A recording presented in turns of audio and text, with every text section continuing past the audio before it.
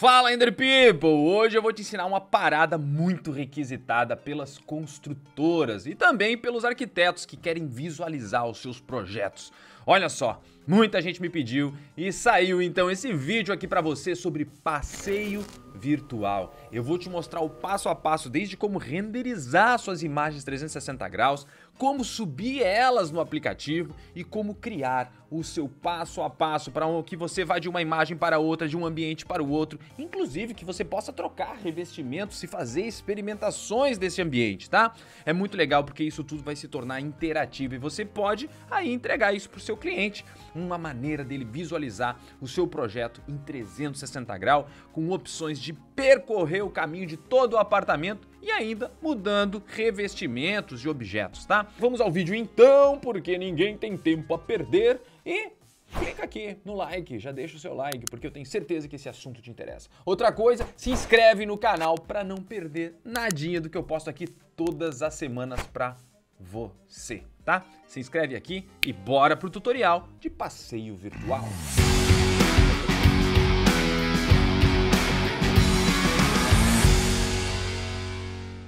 Primeira coisa que eu preciso criar aqui, então, são as câmeras em 360 graus, tá? Você pode escolher qualquer projeto que você tenha. Então, eu vou vir aqui em Create, vou colocar em câmera, vou criar uma Corona Cam. Só que antes de colocar ela aqui dentro, eu vou fazer um ajuste, que é o seguinte. Eu vou vir até aqui em Projection and VR e vou colocar aqui o tipo, ó, Spherical 360 graus, tá? A gente vai utilizar essa tipo de câmera, beleza? E eu vou escolher aonde que eu quero que o meu ponto, quando eu estiver fazendo o passeio virtual, aonde eu quero estar com a minha câmera dentro do ambiente. Então eu vou colocar ela aqui nesse espaço aqui, ó, entre a mesa e a parede, a cozinha essa parte do estar. Eu acho que aqui é um lugar bom para a gente poder colocar nossa câmera. Eu vou encaixar ela bem aqui, vou segurar e vou apontar para onde eu quero que a nossa imagem 360 comece, tá? Eu vou colocar ela apontada exatamente para a cuba aqui agora da cozinha e a gente vai deixar ela apontada para cá. Beleza. Agora eu vou fazer uma coisa, né? Porque ela, tá, ela veio aqui no zero, aqui no chão, né?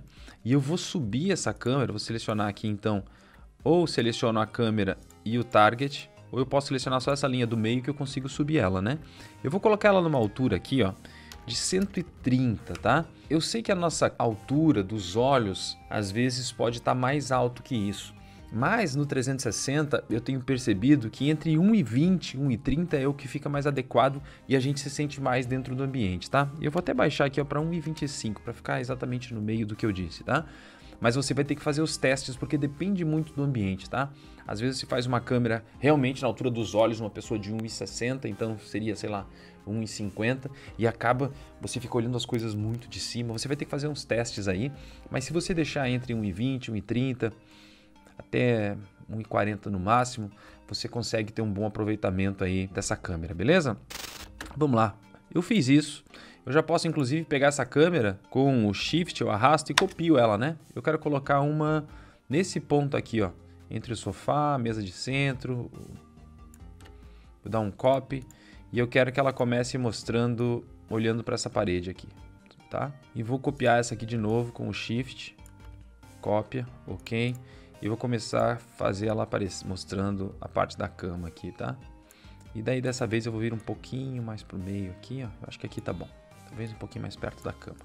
Então eu tenho esses três pontos, as três câmeras estão na mesma altura, de 1,25. Legal.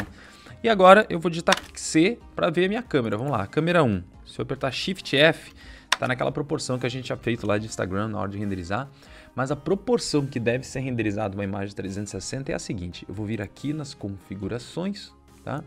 Eu vou vir aqui em Common, eu vou tirar esse Image Aspect aqui e vou colocar o Image Aspect de 2, tá? Então, se eu tiver aqui, por exemplo, uma largura de 4.000 pixels, eu vou ter uma altura de 2.000 pixels, tá? As imagens 360 elas precisam ser renderizadas num tamanho bem grande, tá? No mínimo, do mínimo 4000 para cima. Por quê? Porque é uma 4000 é uma imagem 360 inteira. Mas quando você está visualizando, você está vendo só um pedaço dessa imagem, né? Então às vezes você está vendo 800 pixels, 1000 pixels e para que isso realmente fique com resolução suficiente, essa imagem precisa ser maior, tá? Aqui a gente costuma entregar num passeio, geralmente feito aí em 6000 por 3 mil pixels a gente considera que é o suficiente porque a gente vem fazendo, tá? Tem casos específicos que até necessita maior, mas 6 mil por 3 mil tá bom. E para agora, eu vou fazer o seguinte, eu vou deixar aqui, ó, 6 mil por 3 mil, tá? E tá chaveadinho aqui, tá tudo beleza. Eu só vou gerar um preview agora dessa câmera pra gente ver como é que tá ficando. Eu vim aqui em preview. Como o nosso tipo de câmera lá é 360, ele vai gerar um preview dessa maneira aqui, olha só. Então aqui a gente já consegue dar uma olhadinha. Eu vou mudar a câmera aqui, ó. Câmera 2. Então tá ali no meio onde a gente colocou, bem em cima do tapete. Vamos ver a câmera 3.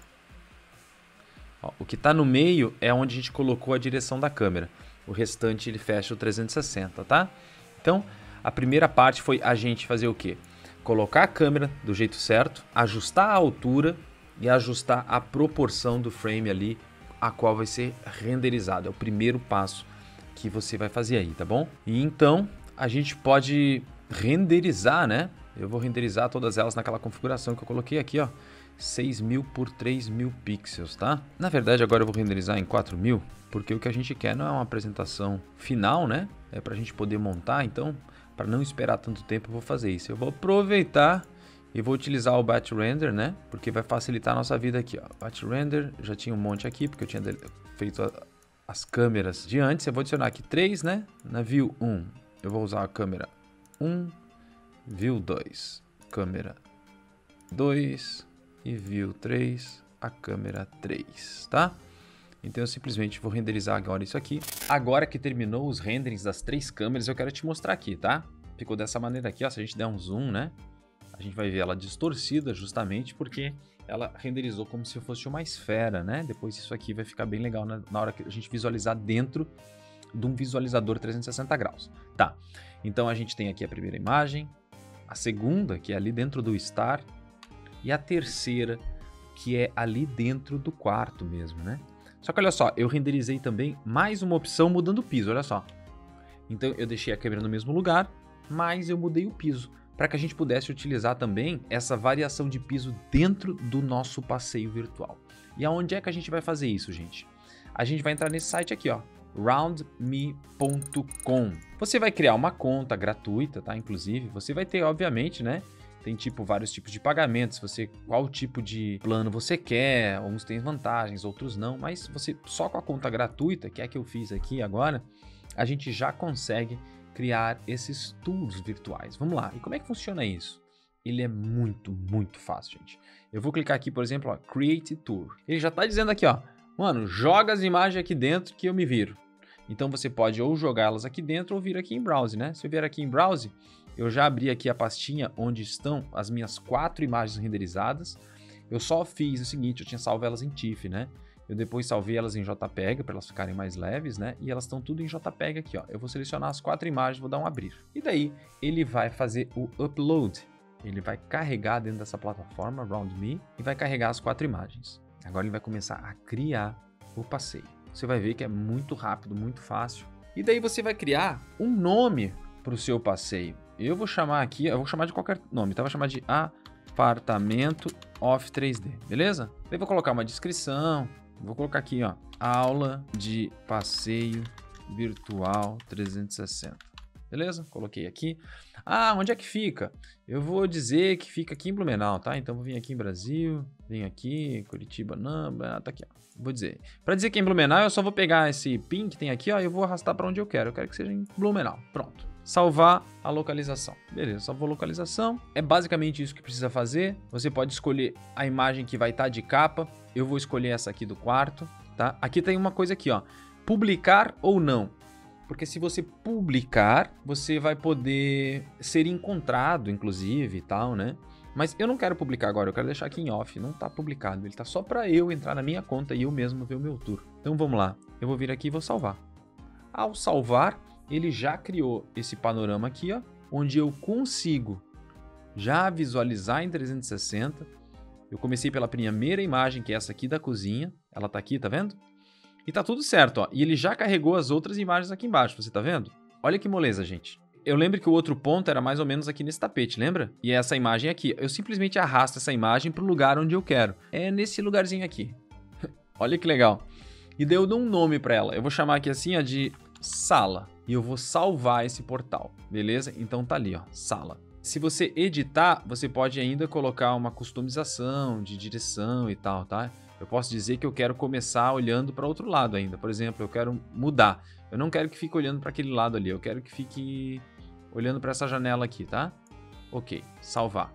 E daí quando a gente passar aqui, ó, ele já mudou o previewzinho ali, tá vendo? Beleza. Sala tá ali. E agora como é que eu faço para ir até na sala? Eu simplesmente clico aqui nessa imagem duas vezes, ó. Eu já fui para lá.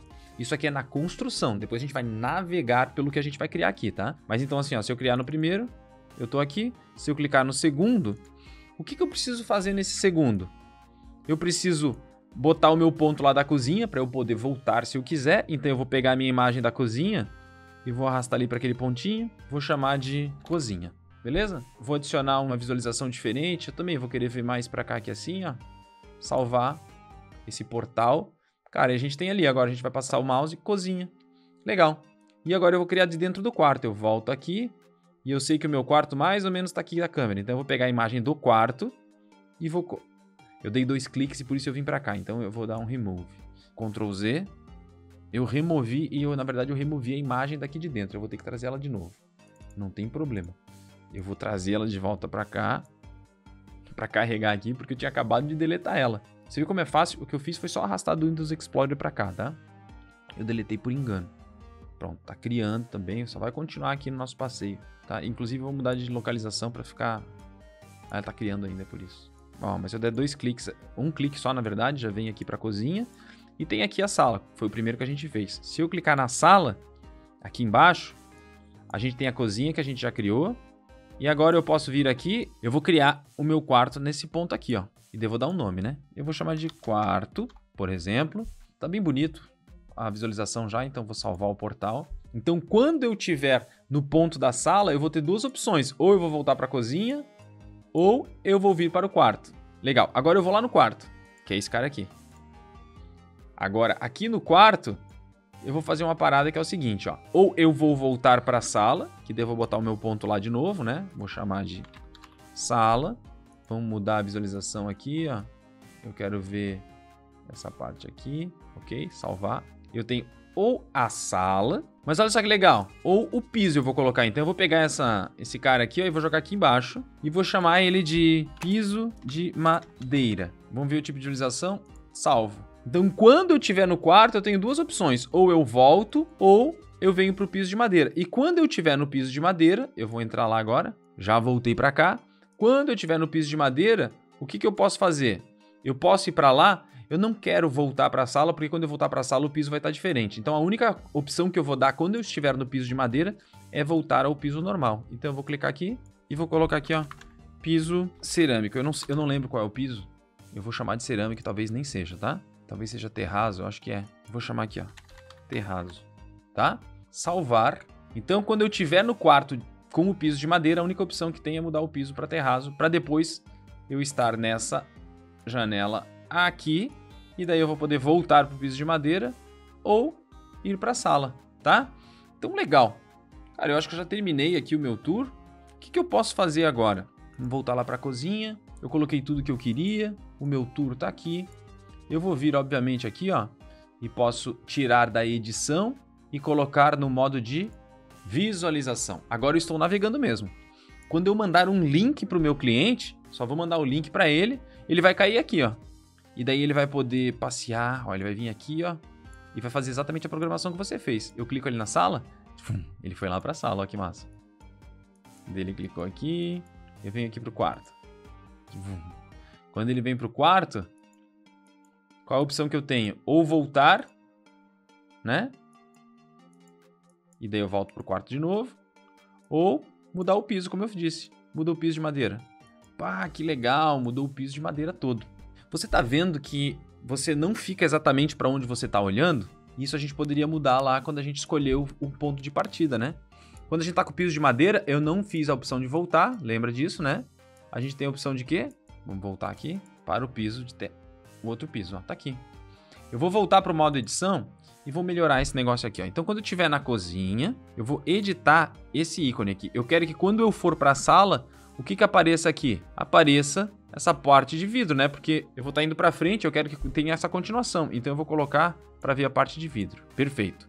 E quando eu estiver na sala, eu quero que quando eu clicar no quarto, eu esteja vendo a parte da mesa, porque eu quero continuar. Vou salvar. E quando eu for para a cozinha, eu quero ver a parte da cozinha, porque eu estou indo para frente. Quando eu estiver no quarto, o que, que vai acontecer? Quando eu voltar para a sala, eu quero que a gente esteja vendo a sala também em perspectiva, porque eu vou estar tá indo para a sala, certo? E quando eu trocar o piso de madeira, eu quero que a gente esteja vendo exatamente o que eu estou vendo aqui, ó, para a gente poder fazer isso. Vou salvar aqui. Agora eu vou no modo de visualização mais uma vez. Olha que massa. Quando eu clicar aqui no piso de madeira, vum, trocou e já está bem mais condizente, né? Troco aqui no piso de madeira, ele mais ou menos está olhando para cá. Ah, volta lá, vamos voltar no piso de madeira, a gente tem mais uma edição para fazer, ó. Volta em edição. No piso de madeira, quando eu quiser voltar para o piso terrazo, eu tenho que mudar a visualização, porque você viu que ficou errado, né? Vou voltar para cá, salvar. Vamos lá. Quando eu volto para visualização, eu quero voltar para o meu piso terrazo. Pô, que legal, agora tá fazendo sentido. Quero voltar para a sala. Ele vai para a perspectiva da sala. Eu quero voltar para a cozinha. Ele vai para a cozinha. E assim está pronto o seu passeio virtual, gente, tá? É uma das opções para você poder fazer e entregar para o seu cliente. E é muito fácil agora, se você quiser compartilhar isso aqui, ó, você vai vir aqui, ó, e vai colocar full screen, share embed. Se você clicar aqui, ó, você vai poder fazer algumas coisas, tá? Compartilhar só o link para poder passar para alguém, onde você vai passar o link e a pessoa simplesmente vai dar um clique e vai entrar, então você vai poder passar esse link por WhatsApp. Se você quiser dar esse embed aqui, ó, você vai passar esse link para quem construir o seu site, programador, enfim, para o seu cliente, que ele tem um site quer que já esteja no site. Então, enfim, tem todos os tipos de exportação aqui, de que maneira você vai fazer isso aqui, tá? Mas eu queria mostrar para vocês essa opção de criar passeio virtual a partir de imagens 360 renderizadas no 3D Max no Corona. Inclusive a opção aí de fazer diferentes pisos. Então, se você quiser criar uma gama mais complexa de alterar, você pode de repente mudar o sofá, você pode mudar a cor das paredes, você pode mudar o tapete. Só que daí você vai ter que renderizar várias opções daquele render para na hora de colocar para trocar, você simplesmente carrega aquela imagem para criar a opção de poder fazer esse morph, né? Que é de uma imagem para outra. Beleza, gente? Quero ver vocês aí criando também os seus tours virtuais e disponibilizar aí para a gente poder passear através dos seus projetos, beleza?